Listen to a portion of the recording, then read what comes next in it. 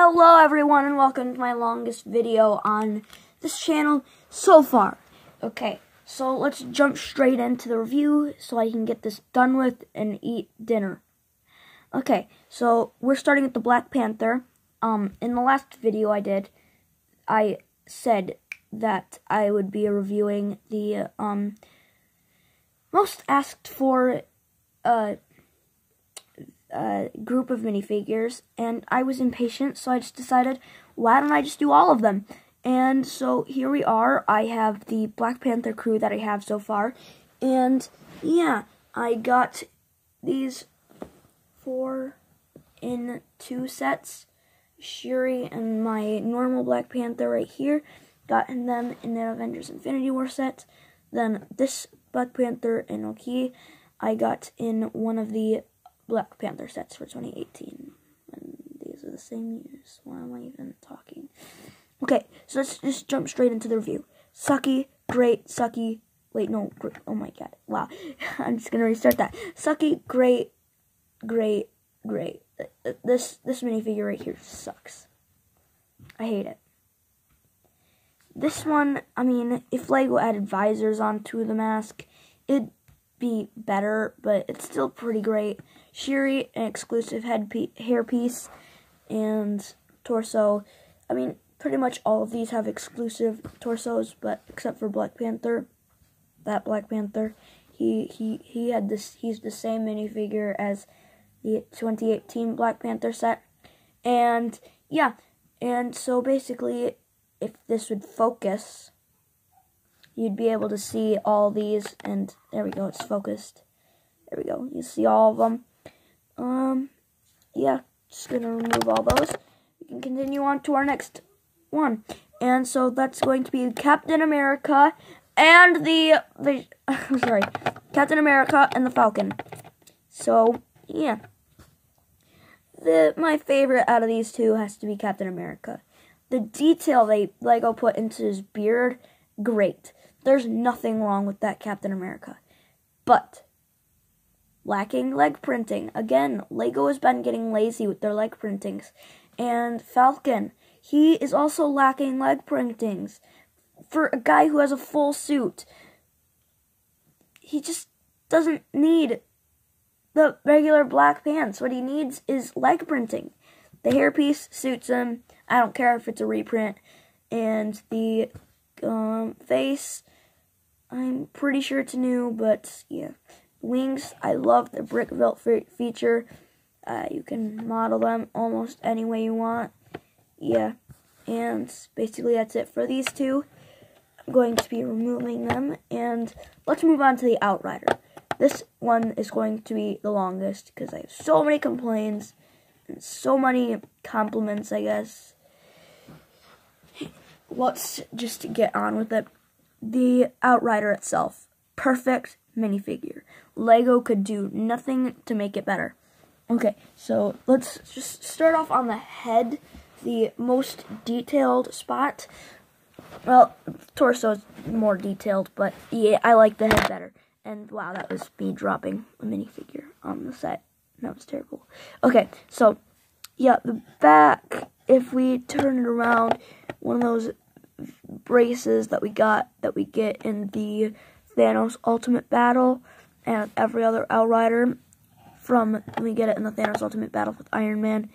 I love the six arm thing. That that's pretty nice.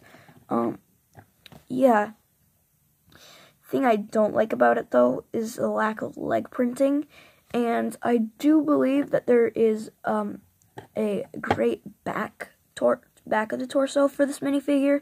So I have to remove that, if I remove that brace, you get to see better shot of it. And if I bend it like that, you can see it better. Yeah, I mean, it's pretty great. If I just put that back on, up, put that back on. Yeah, you get a pretty decent um view of the back of the head. Um, pretty much, well, it's pretty great. I mean, it same problem Nebula and Nick Fury. There's just no side printing on the head. Just why? Why would you do this to us, Lego? So yeah, I mean, other than that, this minifigure is great. And now time to review the front torso.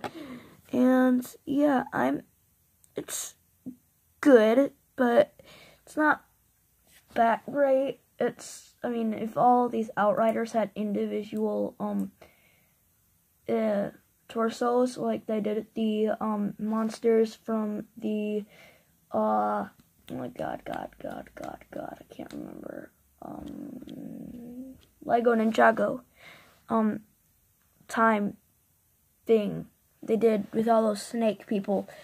I mean, if they could do that with these Outriders, that would be great. And yeah, that is all for the Outrider. I mean, other than the legs, they're plain black legs. Still, he could have used some of the um, printed legs, but yeah. Let's move that out of here.